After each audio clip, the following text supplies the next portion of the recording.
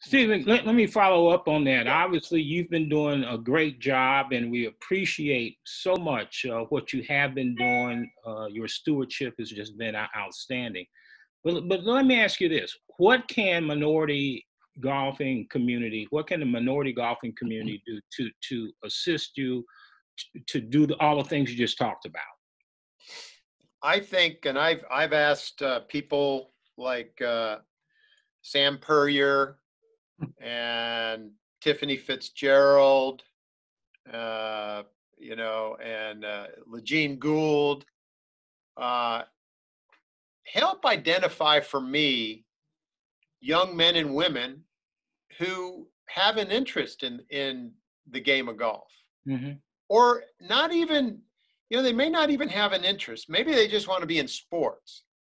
But if if if I can identify a person that has great energy, a great personality, you know, uh, a good work ethic, a good moral compass, I can teach you everything you need to know about the golf industry or event management or, or anything like that. So I think if the minority communities can can help identify for me I see. Candidates that might have an interest, that would that would go a long way. Um, we actually, uh, uh, Sam invi- uh, Sam recommended a gentleman uh, from his Queens College uh, a couple years ago.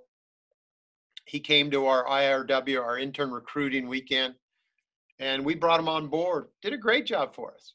Wow, did a great job.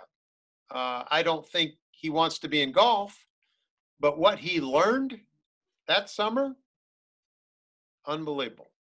Absolutely. So that and you know, I appreciate, you know, hey, I I get this thing.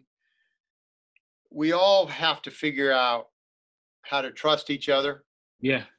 And uh, if if the HBCUs, that's that that would be another thing if the chancellors or athletic directors could get to know the AJGA a little bit better, uh, and we could, you know, talk to them and tell them about our program, and they could uh, help us identify young men and women, because the next person I send to the PGA Tour will be the 47th person the tour has hired from the AJGA.